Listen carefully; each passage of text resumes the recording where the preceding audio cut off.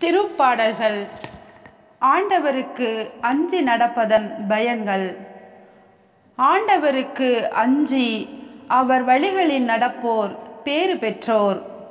உமது உழைப்பின் பயனை நீர் உண்பீர். நீர் நற்பேரும் நலமும் பெறுவீர். உம் இல்லத்தில் உம் துணைவியார் கனிதரும் திராட்சை கொடி போல் இருப்பார். உண்ணும் இடத்தில் உம் பிள்ளைகள் ஒளிவ கன்றுகளைப் போல் உம்மை சூழ்ந்திருப்பர்.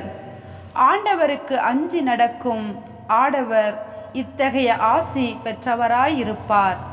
ஆண்டவர் சியோனிலிருந்து உமக்கு ஆசி வழங்குவாராக.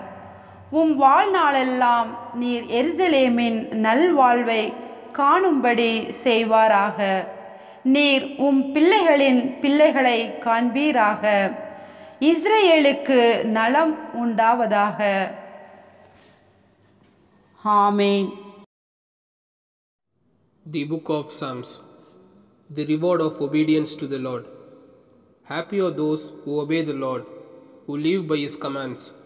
Your work will provide for your needs. You will be happy and prosperous.